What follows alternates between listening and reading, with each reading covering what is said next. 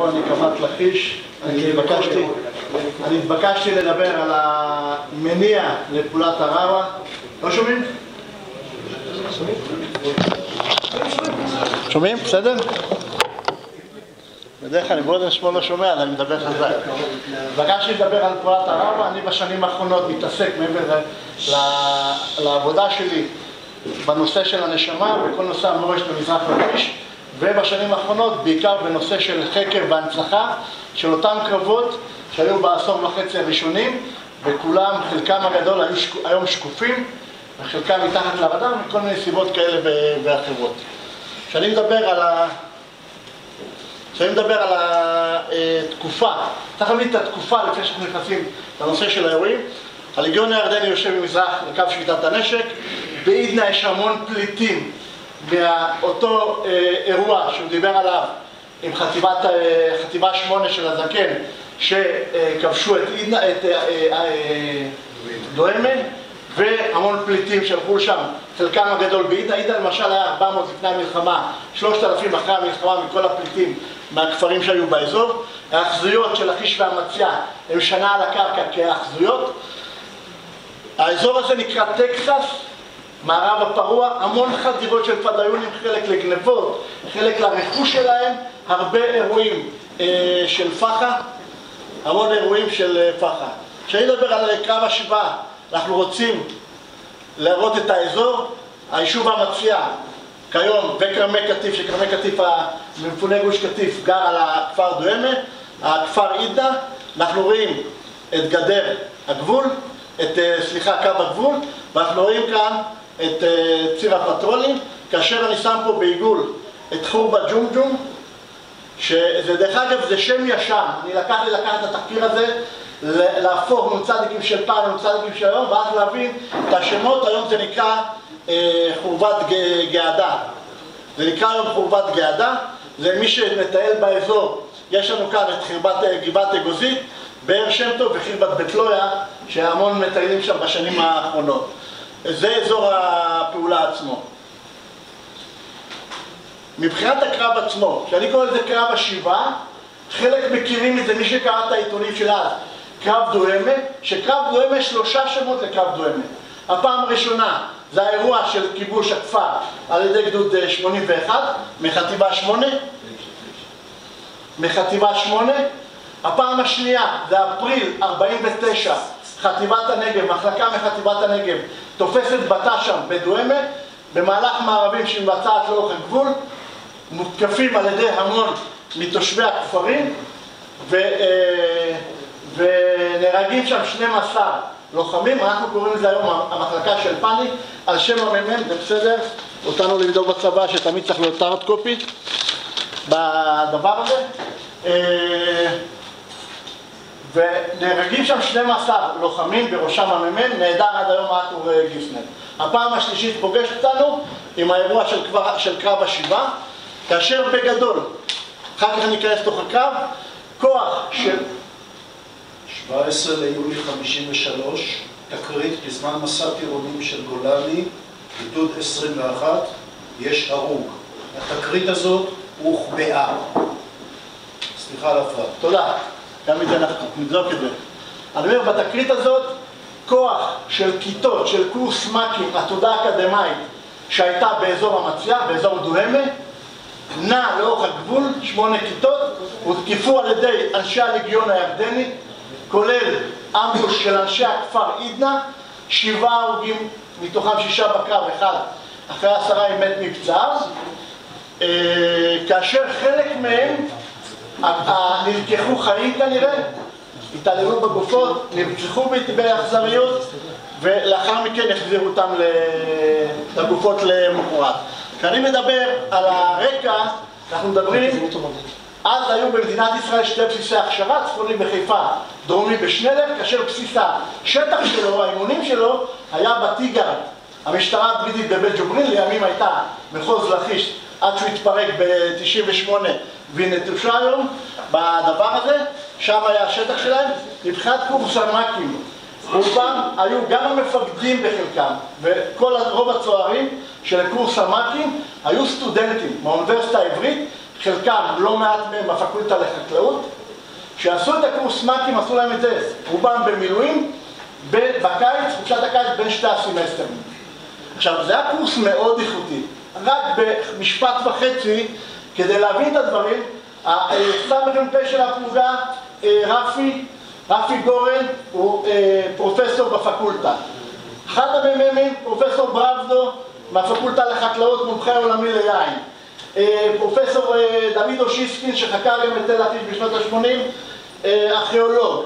עוד אחד, פרופסור מנדס, שהיה מפקד הכיתה שנלכדה, רופא מפורסם בהדסה, הביא את ניתוח החלפת המפרק, ועוד ועוד, היה קורס מאוד... אה, זה עדיין פה עם אה, זה.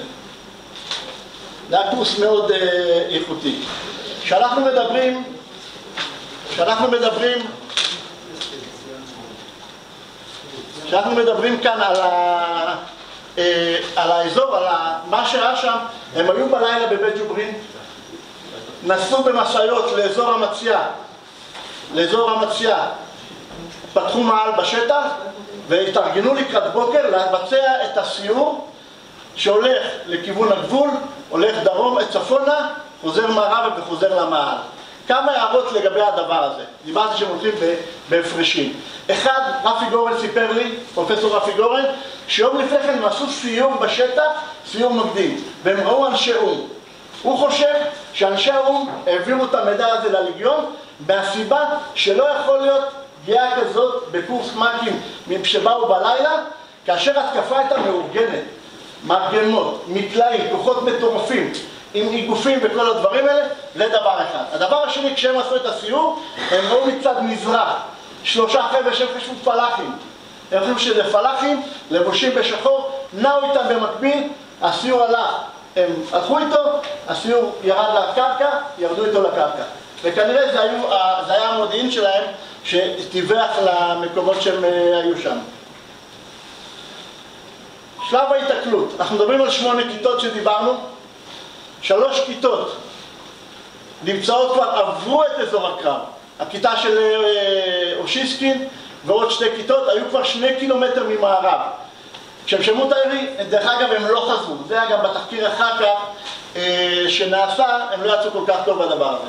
באותו שלב יש לנו את הכיתה של גבי בקש, שהוא כבר עבר את הוועד המפורסם שנדבר עליו, עבר, הגיע למעלה, וכל מה שנשאר לו זה לחצות וללכת מערבה. בזמן הזה הכיתה של דוד בנדס הייתה בוואדי חצייה שהם כנראה הזניקו אחד-אחד, ארבעה היו מצפון לוואדי, ארבעה היו מדרום לוואדי, זה השלב שהם נתקלו, שלוש כיתות היו בג'ומג'ום למעלה, בגבעת געדה, כאשר חלקם היו בעצירה, הייתה שם באר מים, למנוחה, חלקם היו בתהליך של התארגנות והליכה. זה תפס אותם שבאותו זמן הם התחילו לראות ירי, הם לא הבינו בהתחלה מה שקורה. דרך אגב, במסע הזה הם היו עם מעט תחמושת, זה נשאל אחר כך בתחקיר, כמעט ולא עם תחמושת ולא היה קשר. כי הם מבחינתם חשבו שהאזור רגוע, והם הולכים פשוט מאוד לאימון. באותו זמן הם חטפו מכות אש, כאשר היו פה בשלב הראשון שלוש כוחות, שלושה כוחות. כוח הראשון זה מקלע ביקאפס, שהיה בגבעה השולטת הדרום-מזרחית, הייתי שם ואתה רואה ממש את השליטה המובהקת, כמו שהוא דיבר על השליטה המובהקת לכיוון הגבעה. כוח של הלגיון הירדני מול הגבעה, וכוח של אה, אותו משמר, אותם כפרים מעידנא מול הוואדי. הם חטפו אש תופת, הם חטפו אש אה, תופת, ואז אה, זה הפעולות, ש... זה הפעולות שנעשו. בהתחלה, הכוח שלמעלה, שנמצא על הגבעה, הם לאט לאט תפסו עמדות בהגנה מול הכוחות. גם מזה, שהיה כבר למעלה, אבל הוא שלח חייל שלו למטה להגיד לה אותו צוות של מנטס, תתפסו אה, מחסות, ת, תגנו שם על עצמכם, הוא חזר אחורה כדי לתת להם חיפוי לדבר הזה, והכוח של מנדס, חלקם נפצעו כבר בשלב הראשון בצד הדרומי שהם היו חשופים, והם לאט לאט חילצו את עצמם לכיוון העץ, לכיוון הצומת כאן, והארבעה שהיו כאן, הם עלו לוואדי, הם חשבו שאם יעלו לוואדי הם נצלים, נמצאים באזור לא חשוף, ואז הם מצליחים. מה שקרה להם פשוט מאוד, שהחבר'ה מעידה עשו להם איגוף, ופתאום הם מצאו אותם מעליהם קרוב ל-40 אה, לוחמים ששטפו אותם, חלקם נהרגו שם, היה שם את המקלעה שניסה לחפות שם, שלא הצליח, אה, יהושע, שטפו אותם, לקחו אותם, חלקם חיים, חלקם לא, וזה מה שדיברנו על ההרוגים. פה, בינתיים, מה שקורה כאן, גבי בקש נפצע קשה, הוא אחר כך פונה לבית חולים, אחרי עשרה ימים נהרג מהפצעים, אז הוא פגע, היה לו כשל בכליות, ואז לא הייתה דיאליזה. זה מה שקרה, שלא הצליחו להציל אותו. דרך אגב, אם נדבר על גבי בקש, יש פה איזה דבר קטן, הוא אה, מת בפצעים ב-20 או ב-21 לעשירי, ובאותו יום נהרג ליד המציאה בין אה, חבר ילדות שלו. מכפר אש, שהיה בנחל באמציה, ושניהם מתו באותו יום. הייתה כתבות על ה... אה, היו כמה מאותה, דרך אגב, אותה אה, שכבה שנהרגו באותה, תקופה בהפרש של כמה חודשים. למטה, מה שקורה לנו, שיעקב פרידלנד, המגיסט, שהוא דרך אגב היה מקלען, המקלען, סליחה, היה מקלען בנגבה מלחמת השחרור. והיה מאוד, לוחם מאוד אמיץ שם, נחשב מאוד אמיץ שם, הוא מנסה לחפות, חטף כדור בגב, זה שיתק לו את חוט השדרה, זה שיתק לו את הגוף, אה, ואז נכנס אה, לוחם נוסף להיכנס לחלץ אותו, וניסה להרים אותו, חטף כדור בראש. הם הבינו שאין להם סיכוי, הם לאט לאט התחמושת נוזלת, והתחילו לחלץ, והתחילו לחלץ למטה. לאט לאט כשהם מזלבים בהם, מחלצים למטה, כנראה אחד מהכוחות הקדמיים מהשלוש כיתות רצו למעל והגיע לפה שתי נונונים, קומנדקרים, קומנדקר אחד היה של המ"פ שהגיע והקומנדקר השני היה מהגרעין שהיה באמצי הגרעין הבית"רי שחודש לפני כן הוא החליף גרעין של איחוד הקיבוצים ושם הם אה, פונו. התגובה, לא צריך לספר לכם על הנושא של התגובה, בסופו של דבר זה שונה, הכוח כבר היה לדעתי, טרזה נכון, תקן אותי אם אני טועה, כבר ליד המציאה, בהכנה לכיוון עידה שם. ואז קיבלתם את השינוי אה, פקודה, אנחנו רואים את המרחק בין המציאה לאזור הראווה. מבחינת הלוחמים, תרשו לי עוד דקה וחצי, כי בסוף בסוף המטרה שלי בהנצחה זה להנציח את האנשים האלה. אנחנו עושים שלטים, אנחנו עושים דברים, בסוף זה הקדיש הקטן, כי חלקם כבר אין להם משפחות, חלקם היו עולים מזה. גבי בקשט היה מתל מונד, אבא שלו היה וטרינר אזורי, למד בפקולטה, גר בנען, היה כבר, הייתה לו כבר איזו עבודה לקראת התואר שלו, היה נשוי עם ילדה, היחיד שהיה נשוי עם ילדה, לימים עברו לארה"ב, אה, אה, נהרג שם בגבורה, הוא חזר, יכל ללכת ולא חזר. דרושובסקי אילן, זה בכלל סיפור. אבא שלו היה עורך דין מפורסם בפולין, אימא שלו הייתה רופאה, הייתה דרך אגב, המשפחה שלה התנצרה, חברים שלהם החביאו אותם במלחמה, והוא גילה אחרי המלחמה, הוא התחיל ללמוד רפואה, גילה את היהדות שלו, החליט שהוא עולה לישראל, היה מהגרעין של רבדים, באזור אה, קסטינה שם, אה, הלך לפקולטה ללמוד, אמר אני לא רוצה רפואה, העם צריך חקלאים, רפי גורן היה הפרופסור שלו, ויתר לו על סמסטר בגלל לימודי רפואה. זק שמואל יהודה נולד בירושלים, הוא נצר לשבע דורות של משפחת ריבלין הראשונים, הרב ריבלין, שהיה הרב האשכנזי הראשון, הוא בגיל 16 התגייס לפלמ"ח, לחם גם בירושלים, גם בכמה מקומות, אה, נפל שם, לדעתי הוא קרוב משפחה גם של הנשיא. בנימין המאירי בירושלים הוא התעסק בהדרכה בצעירותו, המון הדרכה של בני נוער. אחרי שהוא למד הוא כתב שירים וכל מיני מאמרים. בסוף, אחרי שהוא היה גם במעלה החמישה מטעם הכפר הירוק להחיות את היישוב הישן, הקיבוץ הישן, שהיה רוס כסניף של אה, הכפר הירוק. אחרי אה, מותו אה, הוציאו חוברת מאמרים עליו, את השירים שלו, גיבורים ללא שם. צוריה יהושע, בחור שעלה ממרוקו בגיל 16 לפני המשפחה שלו, הלך לקיבוץ עין גב, היה בכיר כקשר חי"ר, התגייס אחר כך לקבע למג"ב, עשה את הקורס מ"כים במסגרת הקבע שלו במג"ב.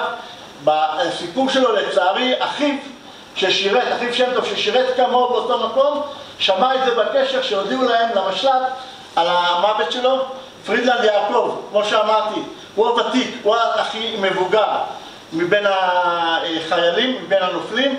הוא היה בנגבה, עבר אחר כך לכמה קיבוצים ובסוף הוא הגיע לקיבוץ גש, עבד שם במסגריה והיה בקורס. משה נחום לרמן, הוא היה סטודנט מבריק למשפטים, הוא היה, הוא גר ב, היה נולד בתל אביב. אחרי שהוא נפטר, אחרי שהוא נהרג, בפקולטה לחקלאות עשו שם קיר אה, הנצחה לשמו, אה, מלגה לשמו, לצערי, כשניסיתי להגיע שם לעשות, אין כלום, הפקולטה עברה כמה מקומות והדבר הזה נמחק, לפני שנתיים וחצי הצלחנו לעשות עם המשפחה שהם אה, פנו אליי, עשינו יום למאה בני משפחה באזור הקרב, באזור המצגה, עם סרטון עליו וכל הדברים, כולל נסיעה לגבעות הקרב, ושם היה עוד לוחם מהקרב שנפצע, גם כן פרופסור, שסיפר אותו. אה, עד כאן. ירון, הגילאים לא מתאימים לעתודאים, 34, אז אמרתי, לא כולם. 31 לעומת הצעירים. אז אני אמרתי, לא כולם, חלק מהם, בקשט היה מפקד. פרילנד היה כאילו במילואים. הביאו אותו לקורס מ"כים. אמרתי, רובם היו עתודאים, חלקם לא. אילן כבר היה, אילן למרות שהוא היה, אה, הוא היה מבוגר, אבל הוא היה סטודנט, אילן. פרילנד הוא היחיד שלא היה סטודנט, וצרויה היה בקבע במג"ד. תודה רבה. תודה.